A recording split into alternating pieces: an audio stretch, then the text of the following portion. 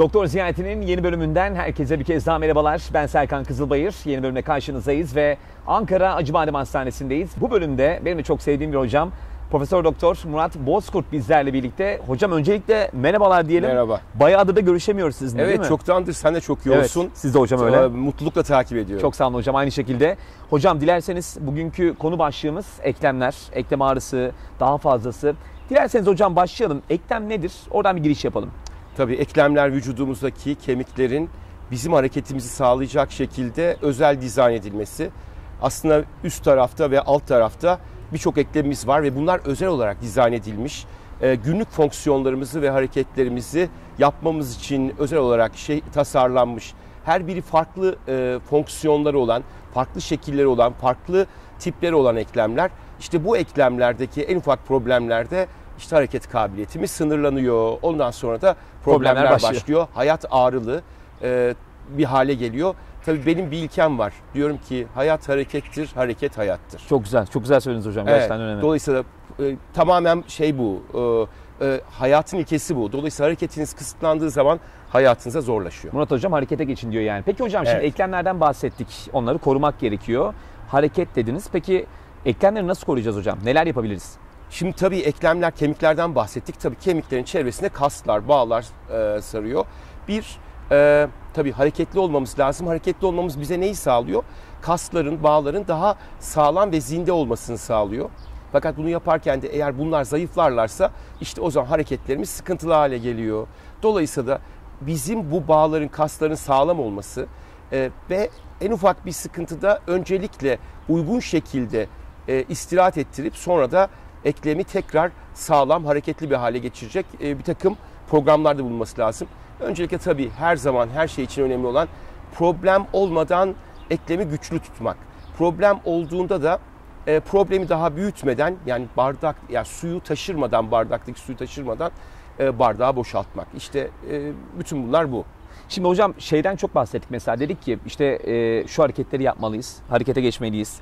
Sadece harekette oluyor mu yoksa hayır Serkan bir de işin beslenme kısmı var diyecek miyiz? Olmaz mı? Tabii beslenme kısmı her şeyden önemli. Eğer beslenme kısmını çok abartırsak bir yağ oranımız artıyor. Yağ oranımız arttığı gibi o zaman da problemler çıkıyor. Hem kaslardaki yağ oranı artınca kaslı, kasların gücü kuvvetinde azalma oluyor ve onların işte eklemleri e, sağlam bir şekilde stabil tutma e, kabiliyetleri azalıyor.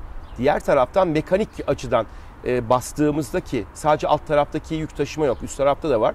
Yani omuz, dirsek, el bileği ve diğer küçük eklemlerimize de yük taşıma kabiliyeti kalça, diz ve ayak bileği ve küçük e- ayaktaki küçük eklemler kadar var. İşte bunlarda da yük taşıma kabiliyeti artıyor ve problem oluyor. Bir de eklemin çevresi saran zarlar var. İşte bunlarda yangı olduğunda, enflamasyon diye bizim tabir ettiğimiz yangı reaksiyon olduğunda bunu yapan gıdalarla beslendiğimizde de işte problemler başlıyor. Bir de bunlara e, yediğimiz bazı alerjik bir takım besinler mesela çok işte gluten enteropatisi oluyor. Evet. Ve bu da eklemlere bir takım problemler oluyor. Bazen bilmediğimiz romatolojik, romatizmal sıkıntılar oluyor. Ve şu sokağa çıksak her 5 kişiden birinde Bak, aslında kanda çıkmayan romatizmal bir enflamasyon var. Bunların illa e, ilaçla tedavi edilmesine gerek yok. Fakat kişinin bilincinde olup buna uygun bir hayat planlaması ve e, ka- yani vücudunu zinde tutmaya yönelik takım planlama yapması gerekiyor. Şimdi hocam burada oturuyorum. Herhangi bir yerimde herhangi bir ağrı yok. Ee, zaman zaman size de oluyordur. Ummadığımız anlarda işte boynumuz tutuluyor, ayaklarımıza bazı böyle kramplar giriyor.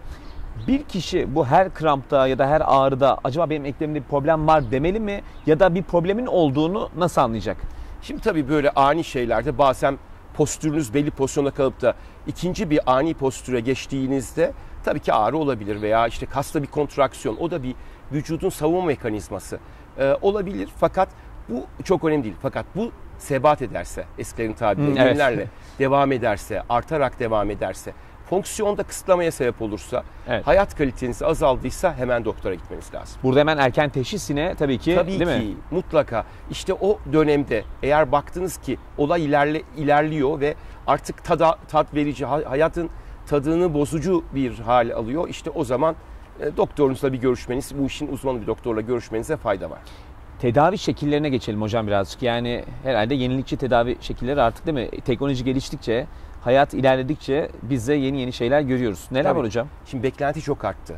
Şimdi eskiden olsa belli işimizi yapalım, evimize gidelim, oradan çıkalım. Şimdi spor yapacağız, zinde kalacağız, aktif olacağız, e, belki daha enerjik işler yapacağız, hayattan tad almaya çalışacağız dediğimiz yaş aralıkları da arttı. Daha ufak yaşta başlayıp daha ileri yaşlara kadar bu işleri yapar hale geldik. Dolayısıyla da bizim öncelikle bu yaş aralıklarında vücudumuzu iyi tanımamız, iyi bilmemiz ve ona göre davranmamız gerekiyor. Her zaman söylediğim gibi önce korunma, vücudumuzu zinde tutma, spor yapma, kaslarımızın zinde ve sağlıklı olması ve bunun içinde gerekirse eğer e, destek almamız gerekirse o desteği de almamız gerekiyor.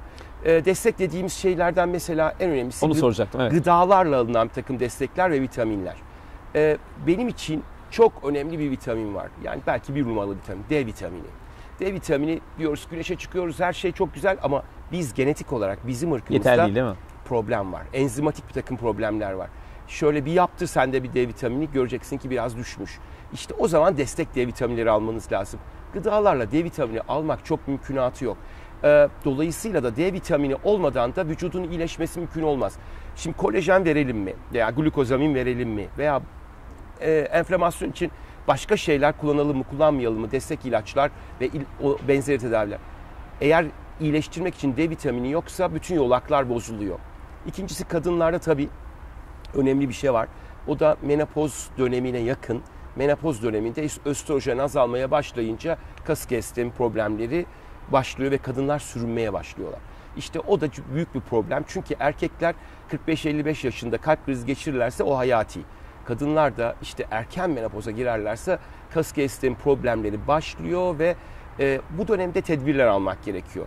Bunun haricinde enflamasyon varsa, bir takım gluten enteropatileri veya altta yatan laboratuvarda çıkmayan romatizmal problemler varsa işte o zaman da ona uygun beslenme ve bir takım aktivasyon modelleri, destek tedaviler gerekiyor.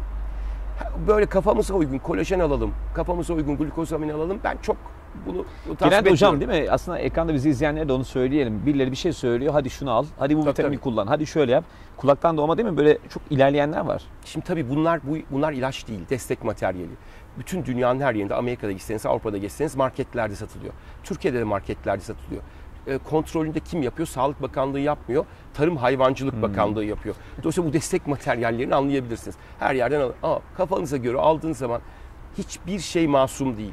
Dolayısıyla bence bunları doktor kontrolünde veya işi iyi bilen birinin kontrolünde yapmak bence çok önemli. Ben buraya gelmeden önce hocam özellikle e, sabah yayında söylediğim zaman Murat Hoca'ya mutlaka sor dediler. Ben de sormak istiyorum.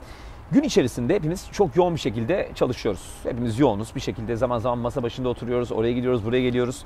Bir insanın hani eklemlerine faydalı olabilecek hangi hareketleri ya da hangi işte yürüyüş mesela gün içerisinde 30 dakikalık yürüyüş neler yapabilir hocam? Önerileriniz ne? Şimdi tabii e, bir sporu e, yavaş yavaş artırarak yapmak lazım. Önce bir adapte olmak lazım. Vücudunuzu önce biliyor olmanız lazım. Birden yük, spora yüklenirseniz sıkıntı olur. İkincisi yattığınız yataktan başlayarak, kullandığınız yastıktan e, yaparak ve de tabii ki çok mümkünatı yok hayatımızda ama stresli yatıp stresli kalkıyoruz. Dolayısıyla kaslar zaten Geriliyor kasılıyor mi? Doğru. ve Evet. geriliyor. İşte sabah kalktığınızda ufak bir e, stretching dediğimiz e, gerilme hareketleri, esneme hareketleri yapmak önemli. Başlangıçta kalkıp hemen bir e, aşağı inmek veya işte odalar içinde gezinmek yerine hafif bir egzersiz yaparak başlamak önemli. Bunu da işin uzmanından alınabilir. E, onun haricinde birden kalktığınızda e, ani hareketlerde bazen biraz evvel bahsettiğim o kontraksiyonlar olabilir. Dolayısıyla e, hayata geçerken bunları yavaş yavaş e, tatlı tatlı yapmakta fayda var. İkincisi oturduğunuz koltuk, e, arabanızın koltuğu. Hepsinin ergonomik olması lazım. Aslında ben yurt dışına çalışırken tabii Danimarka'da fizyoterapistler gelirler bakarlardı. Derlerdi ki koltuğunda bu problem var. Senin sırt yapın böyle. Onun için koltuğunda böyle bir desteğe ihtiyacın var. Veya çok uzun oturuyorsun. Dizinde kontraksiyonlar olabilir. Arada kalkıp şu egzersizleri yap derler. Ergonomi böyle bir şey zaten. Ergonometri de böyle bir şey. Dolayısıyla hayatın tadını çıkartacak o hem de sizi mutlu eder bu. Kesinlikle. Zinde kalmak. Bu hareketleri yapmakta fayda var. Fakat bunlarla beraber özellikle zeminde bir problem varsa yani dizinizin anatomik ve morfometrik yapısı bozuksa ne yaparsanız yapın bir takım sıkıntılar çıkacak. Onları da erken tedbir almak Orada gerekiyor. ameliyat şart mı oluyor hocam belli bir süreden sonra? Her zaman ameliyat şart değil.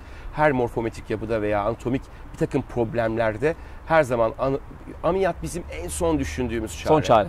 En son çare. Eğer gerekliyse ilk çare.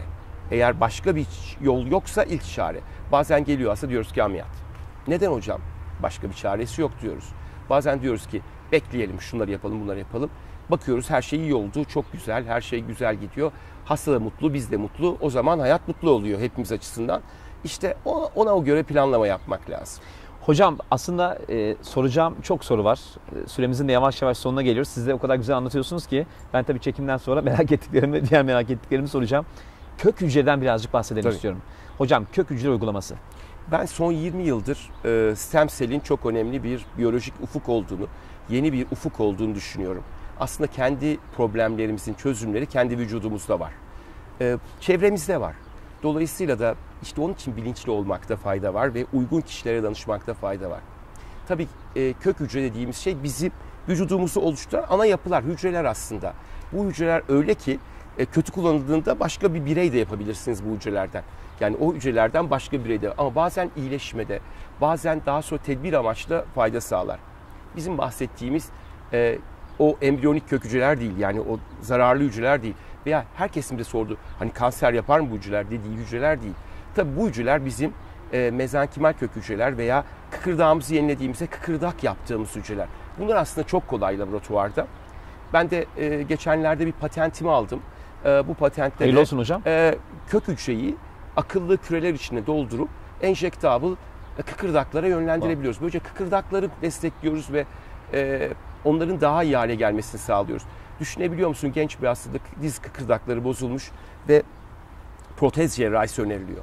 Bu çok acı bir şey. Çok kötü. Çünkü onların da bir ömrü var. Dolayısıyla da e, bizim burada mutlaka e, biyolojik tedavileri gündeme getirip bakmamız lazım. Biz bu tedavileri yapıyoruz. Hala bunlar deneysel tedaviler. Dolayısıyla hala bizim de üzerine çalıştığımız laboratuvarlarda dünyanın birçok laboratuvarında çalışılan yap. Mesela bu e, Cuma Dubai'ye gideceğim ve bununla kıkırdakla alakalı konuşma yapacağım oradaki bir gruba. Ve orada biliyorum ki Japonya'dan, Hindistan'dan, Avrupa'nın değişik yerlerinden, yer. Amerika'dan gelen birçok kişi, İtalya'dan birçok gelen birçok kişi bize kıkırdakla ilgili çalışmalarını anlatacaklar neler yapıyorlar ve biz orada Yeni bilgiler yeni değil mi? bilgiler ve bizim Kesinlikle. de yeni yeni yaptığımız uygulamaları ve evet. bunların klinik sonuçlarını söyleyeceğiz. Dolayısıyla bütün bunları bütün bunların önemli olduğunu ama bu işi suistimal edenlerle değil. Bu işle bilimsel olarak uğraşan ve hastayı doğru bilgilendirecek ve doğru yönlendirecek ve en sonunda doğru tedavi edecek doktorlarla e, tanışması lazım. Son cümle çok güzeldi hocam. Gerçekten de işin değil mi? Bilir kişiye bırakmak e, Artık bu dönem önemli. çok önemli. çok İşi önemli. e, bilen kişiyle çalışmakta çok önemli. fayda var. Çok önemli. Peki hocam finalde var mı söyleyeceğiniz bir şeyler? Unutmayın hareket önemli. Hareketli kalmak için e, mutlaka ve mutlaka e, tedbirinizi baştan alın. Sonra bize gelmeyin. E, bize gelirseniz de merak etmeyin. Sizi iyi tedavi edeceğiz. Evet, erken teşhis yine önemli diyoruz. Kesinlikle. Hocama çok teşekkür ediyoruz. Doktor ziyaretinde final zamanı yine sevgili Murat hocamla beraber keyifli program oldu, akıcı program oldu. Acıbadem Ankara Hastanesi'nden Profesör Doktor Murat Bozkurt bizlerle birlikteydi. Bir sonraki bölümde tekrar görüşünceye dek hocam el sallayalım. Hoşçakalın. Kolay gelsin. Görüşmek üzere.